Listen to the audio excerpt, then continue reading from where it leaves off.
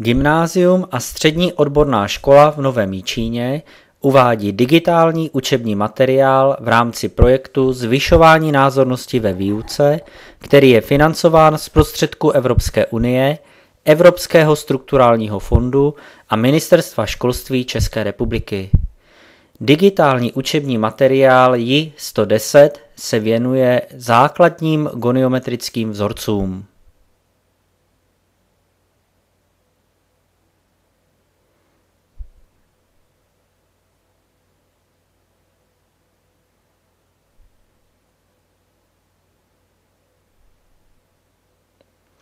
Určité hodnoty zbývajících goniometrických funkcí sinus 2x a cosinus 2x, jestliže platí, že sinus x se rovná minus jedné pětině, kde x patří do intervalu od pi do třech polovin pi.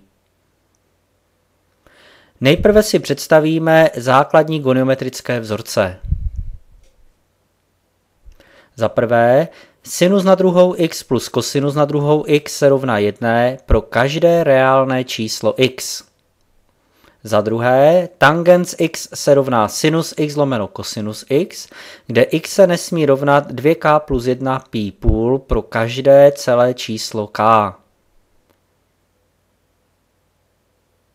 Za třetí, kotangens x se rovná cosinus x lomeno sinus x, kde x se nesmí rovnat k pi pro každé celé číslo k.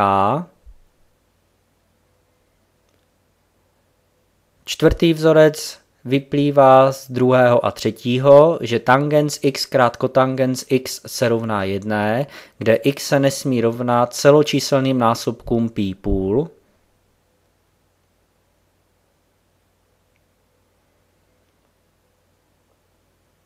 Za páté, sinus 2x se rovná 2 sinus x cosinus x. A za šesté, kosinus 2x se rovná kosinus na druhou x minus sinus na druhou x.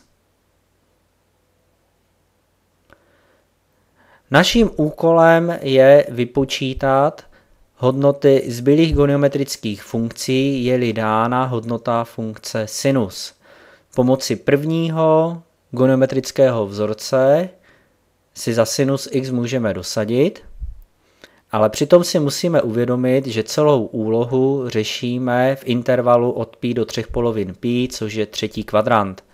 Ve třetím kvadrantu je funkce sinus záporná, kosinus záporná, tangens kladná a kotangens kladná.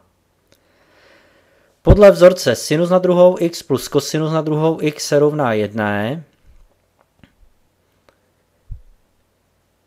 vyjádříme, že kosinus na druhou x je roven 1 minus sinus na druhou x. Za sinus na druhou x dosadíme hodnotu minus 1 pětina, takže kosinus na druhou x se rovná 1 minus minus 1 pětina na druhou a po umocnění kosinus na druhou x se rovná 1 minus 1 lomeno 25. Po odečtení platí, že kosinus na druhou x se rovná 24 25. Odmocníme levou i pravou stranu a zjistíme, že kosinus x může nabývat dvou různých hodnot a to plus nebo minus odmocniny z 24 25.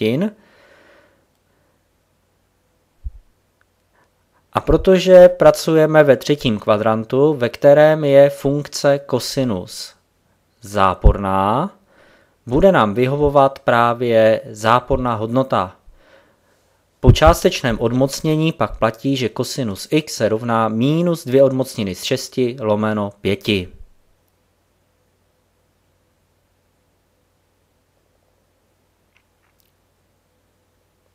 Pro vyjádření hodnoty funkce tangens a kotangens použijeme vzorce druhého a třetího. Známe hodnotu sinus i kosinus, takže můžeme funkci tangens rozepsat jako sinus x lomeno kosinus x podle vzorce druhého.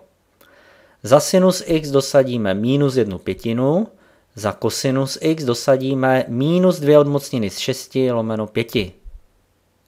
Vznikne tak složený zlomek ve tvaru minus 1 pětina lomeno 2 odmocniny z 6 lomeno 5.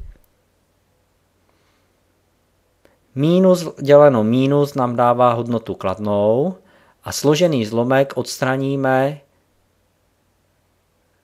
pomocí součinu vnějších členů 1x5 lomeno součin vnitřních členů 5x2 odmocniny z 6.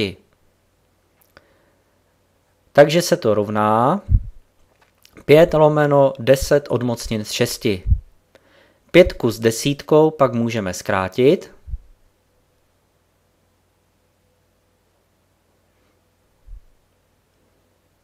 Výsledkem krácení je dvojka ve jmenovateli zlomku. Takže se to rovná 1 lomeno 2 odmocniny z 6. Tento výsledek obsahuje odmocninu ve jmenovateli zlomku, proto ji musíme odstranit vhodným rozšířením, tedy celý zlomek vynásobíme odmocninou z 6 lomeno odmocninou z 6, takže tangens x v tomto třetím kvadrantu je odmocnina z 6 lomeno 12. Pro kotangens x pak podle třetího vzorce platí, že je roven kosinus x lomeno sinus x, což je totéž podle čtvrtého vzorce jako tangens x na méně prvou. Z předchozího výrazu tedy dosadíme za tangens x 1 lomeno 2 odmocniny z 6, takže kotangens x se pak rovná 1 lomeno 2 odmocniny z 6 na méně prvou. Převrácením tohoto zlomku dostaneme konečný výsledek, že kotangens x je 2 odmocniny z 6. Na závěr vyjádříme sinus 2x a kosinus 2x s využitím vzorce 5. a 6. Sinus 2x podle pátého vzorce rozepíšeme na 2 sinus x krát kosinus x. Za kosinus x dosadíme minus 2 odmocniny z 6 lomeno 5. Za sinus x dosadíme minus 1 pětinu. Takže sinus 2x se rovná 2 krát minus 1 pětina krát minus 2 odmocniny z 6 lomeno 5. Jednoduchým výpočtem zjistíme, že sinus 2x se rovná 4 odmocniny z 6 lomeno 25. Pro kosinus 2x podle vzorce 6. platí, že se rovná kosinus na druhou x minus sinus na druhou x. Opět dosadíme příslušné hodnoty za kosinus minus 2 odmocniny z 6 lomeno 5 a za sinus minus 1 pětinu. Kosinus 2x pak vyjádříme jako rozdíl minus 2 odmocniny z 6 lomeno 5 na druhou minus minus 1 pětina na druhou. Což umocníme, takže se to rovná 24 25 minus 1 25 a po odečtení zlomku je kosinus 2x roven 23 25.